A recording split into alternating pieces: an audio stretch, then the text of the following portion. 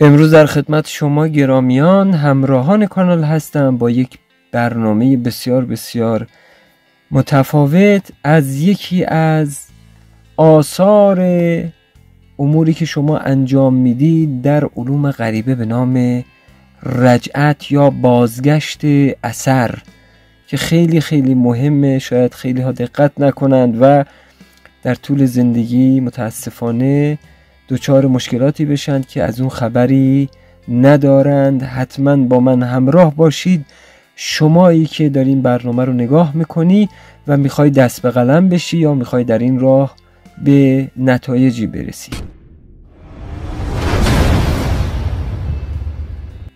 با نام و یاد ایزد دادار پایدار و با درود و احترام خدمت تک تک شما همراهان کانال شما عزیزانی که در کانال عضو هستید و یا برای بار اول هست به کانال سر می‌زنید خیلی خوش آمدید و امروز با یک برنامه بسیار متفاوت در خدمت شما هستم. یک مطلب رو همیشه برای شما تکرار کردم. اولین اصل هست از وجود آدمیت به سمت انسانیت حرکت کردن. به بزرگترها احترام بکنید.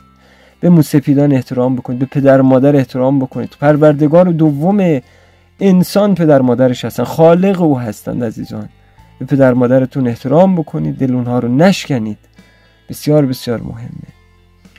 و من همیشه آرزو خیر داشتم شما. عزیزان کانال رو حمایت بکنید. بنده مثل دیگران نیستم بگم برای مهم نیست. خیر برای من مهم این کانالی که درست کردم و دارم زحمت دارم می‌کشم به نتیجه برسه. به دیگران این خانواده ما بزرگتر بشه و این خانواده بتونه به جاهایی دست پیدا بکنه که مزید خیر و برکت برای همه ما باشه. و اونهایی که دارن به راههایی میرن که متاسفانه زندگی خوبی در آینده سراغشون نمیاد اونها بتونن به راه درست و به راه نور انشالله حرکت بکنن که ما هم سعیمون بر این عزیزان. حمایت بکنید. اول شما می‌دونم عزیزانی هستن در کانال زحمت می‌کشن می‌خوان حمایت بکنن. اول کامنت بگذارید سپس لایک بکنید. ضمنا از لینک کانال تلگرام وارد یوتیوب نشید که شما رو برای همیشه IP تون رو به صورت یک ربات تشخیص میده و باعث میشه هرچی هم شما زحمت می‌کشید کانال رو حمایت می‌کنید هیچ نتیجه نداشته باشه. برای سه تا پنج نفر share بکنید کانال رو و تبلیغاتی که برای کانال میاد عزیزان حداقل سه تا پنج نفر. ببینید در کانال بمانید. من دو تا بحث دیگه هم هست که براتون در ادامه میگم. ابتدا بریم سراغ مبحث اصلی که بحث رجحت هست. عزیزان دوستان شاید شنیده باشید که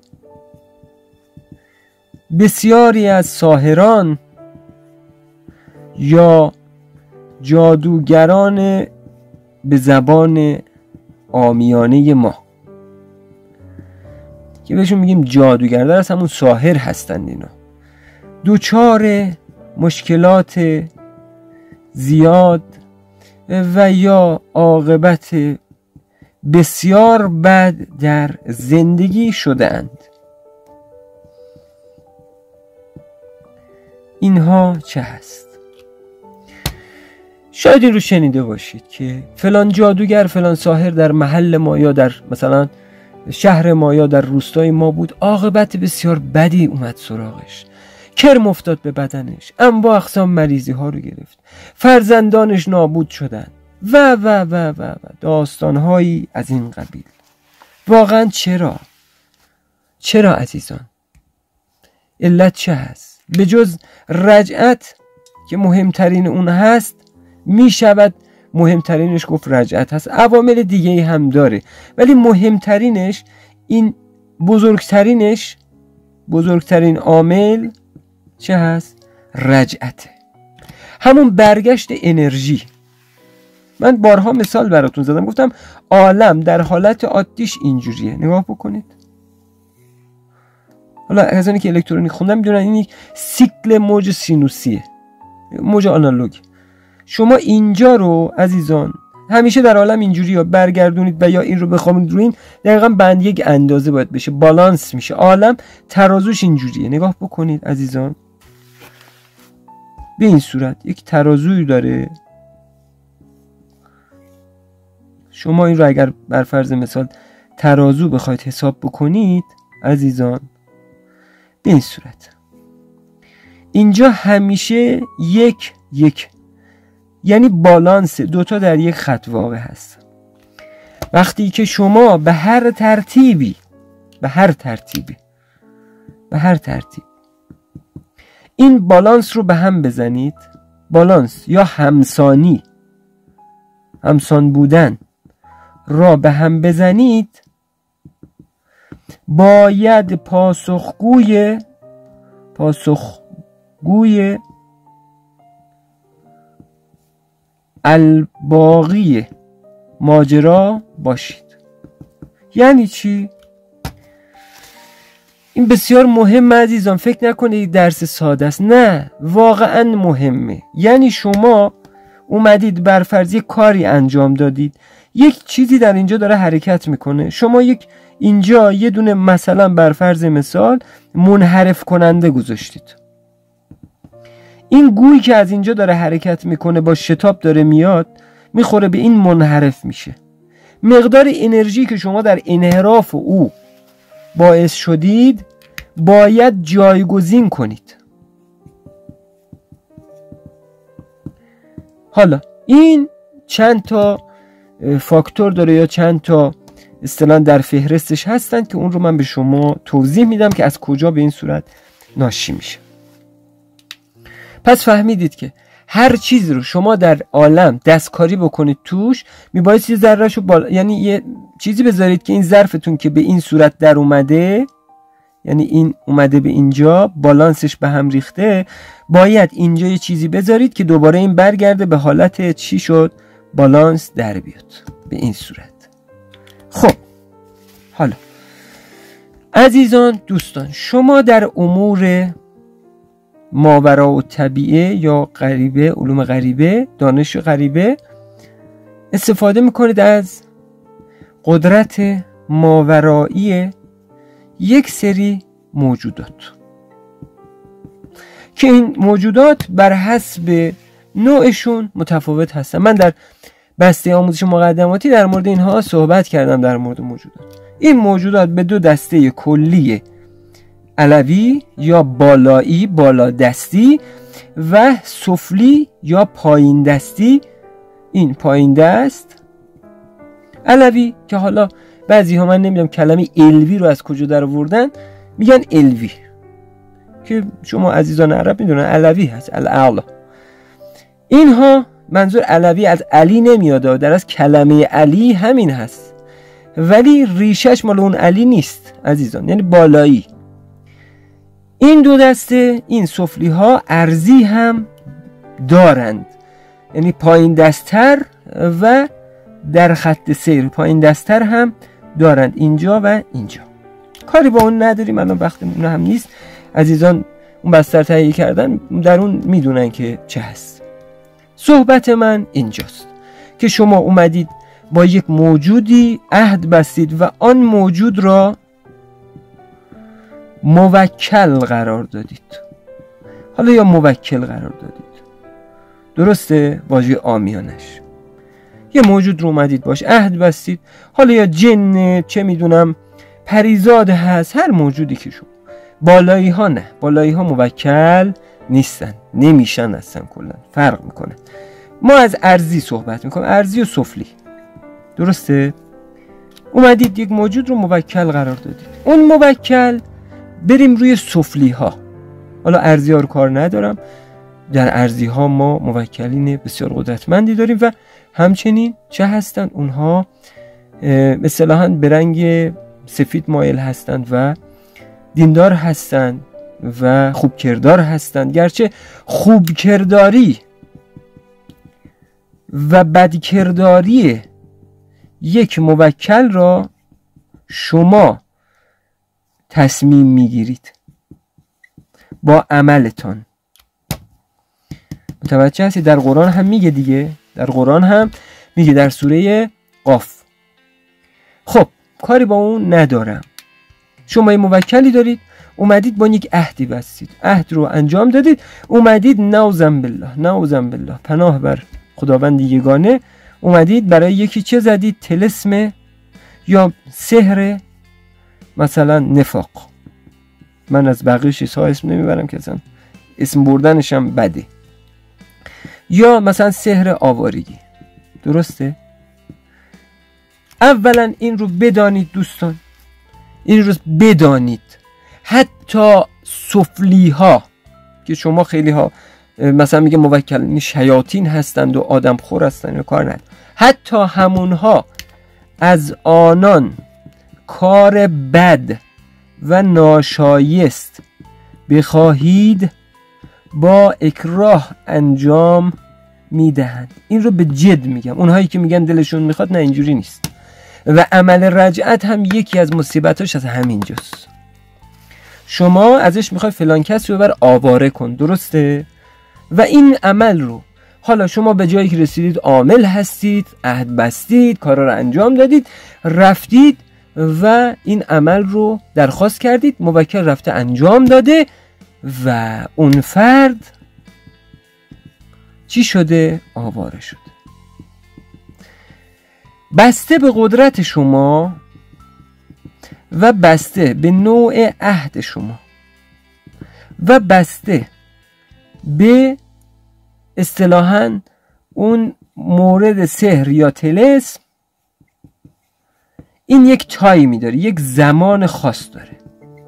مثلا بعضی ها هستند که من امیدوارم اینا به راه راست در اول هدایت بشن اگر نشد که دیگه اصطلاحا خداوند عظیم و کریم خودش می‌دونه که چی کار بکنه. ملائکت الله خودشون می‌دونن با این افراد چه کار بکنن. قبل از اینکه من برم سراغ این مسئله اولی کامنت بگذارید. به عنوان کسی که اگر دوست دارید از کانال حمایت بکنید یک کامنت انگلیسی کامل فارسی بذارید و بعد لایک بکنید. ضمنا مطلبی رو امشب می‌خوام بهتون بگم که در کانال گذاشتم و قرار بود امشب live داشته باشم. اینترنت بسیار ضعیفه. امیدوارم که بشه اگر اینترنت یاری بکنه در ساعت 12 شب هم شده. انشالله live رو خواهم گذاشت. منتها همین اسای حمایتتون رو بکنید. بریم به توضیح رو من بدم بهشون. خیلی خوب. سپاسگزارم. اول کامنت بعد لایک. و خب اومدید این رو بستید انجام داد برای شما. مثلا سحر شما مثلا ده سال است. درسته که همچین چیزی هر کسی نمی‌تونه این رو درست مثلا ما فرض بر محال می‌ذاریم ده ساله. زمانی که این سحر ده ساله رو شما میبندید دو مسئله برای شما پیش می اول اینکه به جای این بالانس ترازو چه باید بدهید؟ بالانس کردید دیگه ترازوتون بالانسه. حالا بالانس رو به هم زدید. ترازوتون به هم ریخته. باید یه چیزی بدید. ساهرین معمولا خیلی زرنگ تشریف دارن. میان. یک مدت از تقدیمی های خودشان استفاده می کنند بقیه زمانها یا بقیه مدت را از خوردن و نابود کردن انرژی شخص درخواست کننده استفاده می‌کنه. چجوری هست؟ حالا بهتون توضیح میدم. خیلی جالبه دوستان. ساهر میاد مثلا ده روز 20 روز سی روز پنجاه روز 60 روز دیگه فکر نکنم بیشتر از سه ماه کسی بخواد همچی کاری بکنه. میاد عهد میبنده که من خوراک شما رو تعمین می‌کنم اون انرژی که بنده گذاشتم رو بالانس می‌کنم. الباقیش شما برید اون فردی که از من خواسته برای یکی بیام بر فرض مثال تباهی بزنم از او تغذیه بکنید. یعنی میرن زندگی اون... نه تنها اون فرد رو آواره کردن که چی؟ شخصی که اومده درخواست کرده اون رو هم بدبخت می‌کنن اون رو هم بچهش رو داغون می‌کنن خودش رو داغون می‌کنن زندگیش رو تباه می‌کنن رزقش رو باعث اصطلاحا به. به صورت غیر مستقیم در اون اختلال ایجاد می‌کنن و مسائل دیگه. این از این قسمت. یعنی از اینجا اصطلاحا اون قسمت رو اون عملی که باید هزینه داره رو می‌خورن. حالا قسمت مهمترش که مهمترین قسمتش در رجعت هست چه هست؟ اینکه شما سحر را ابطال نمایید. وقتی سحر رو ابطال می‌کنید عزیزان ابطال سحر به این صورت فقط نیست. کسانی که سحر رو ابطال می‌کنن می‌دونن. خیلی از سحرها اصطلاحا پیچیدگی خاصی ندارن و خود شخص هم با دستوراتی که بنده کمتری یا دیگران اساتید می‌گذارن می‌تونید این عمل رو انجام بدید و یک هزینه هم مثلا به عنوان خیرات و این کارهایی که انجام میشه کفاره می‌دید و انشالله عملتون تمام میشه. اما بعضی از اسهار هستن که این موکلی که اونجا هست با طایفشه. شما نمی‌تونید کاری انجام بدید. حتی عاملی هم که قدرتمند است به این آسونی نمی‌تونه کاری انجام بده. و بسیار پیچندر پیچه. پس فکر نکنید هر سحری هست خود شخص می‌تونه انجام بده. خیر. نظر شخصی بنده است. چون دیدم. اونجایی که شما این سحر رو انجام می‌دید و عمل بازگشت می‌خورد. اصطلاحا میگن رد عمل. راد عمل علا فائله راد عمل یا رد عمل برای فائلش متوجه شدید؟ یعنی عمل رو رد می‌کنن روی فائل روی عامل. الا عامله. الا عامله. این عامله هو چه هست؟ رد. رد که می‌زنید می‌خوره به فائل به عامل. خب اینجا دو تا مورد پیش میاد. یک رد انرژی. دو رد موکل. اینجا عرض می‌کنم که بعضی جاها برای رد حتما باید عامل باشه. چرا؟ چون پای موکلی در میانه. و این موکل اگر شما عامل نباشی بخوای سحر رو ابطال بکنی دست از کلت بر نمیداره. تا پای جان موافقت چیز می‌کنه اصطلاحا با شما مقابله می‌کنه دفاع می‌کنه از خودش و از اون سحری که بر او نگهبانه و بر او عامله و بر او موکله. میاد انقدر پافشاری می‌کنه که شما زورت بهش نمی‌رسه مغلوب میشی و خودت هم مغلوبه. اینجا. ولی اینجا رو ما میگیم که آقای عامل انجام داد. عامل قدرتمند این رو انجام داد. یک رد انرژی دو رجعت موکل. رجعت موکل باعث میشه که کسی که عاملیت داره یا اون سحر رو انجام داده یا کسی که فائل هست به هر طریق که اصلی ترین ضربه رو که می‌خوره؟ آن که قلم زده و با موکل عهد دارد. چه کار می‌کنه؟ آقایی که ابطال کننده هست عاملی که ابطال کننده هست. به موکلینش میگه موکلین سحر را بگیرید. بگیرید. عهد او را باطل بکنید و عهد ببندید که برگرده صدمه بزنه به کی؟ به عامل اولیه. کسی که موکلش با عهد بسته بود و قرار بودی کاری رو انجام بده و داده حالا اینجا باید چی پس بده؟ باید تقاس پس بده. این که شما می‌بینید خیلی از افراد میان کارهای بد انجام میدن کارهای انجام میدن که چه می‌دونم حتی زبیه می‌برن خون تقدیم می‌کنن اینها ولی بعدها دچار بدبختی میشن. می‌دونید سحر عزیزان مثل یک سنگ وقتی شما میندازی بالا راست می‌خوره تو کلت. یعنی اینجا دوباره میاد از همینجا که انداختی دوباره میاد تو سرت می‌خوره. اینه که خیلی از جاها بنده خودم میگم آقا شما یه مبلغی میدی من کمک می‌کنم به نیاز من. کمک می‌کنم به فلان جا. در فلان جا. این انرژی گرچه بنده ساحر نیستم و به هفت پشتم هم میخندم و توبه اگر که بخوام دنبال همچین کارهایی برم. و کسانی هم که در این کارها هستن به جد بهشون توصیه می‌کنم به خودتون رحم بکنید و به خانوادهتون رحم بکنید.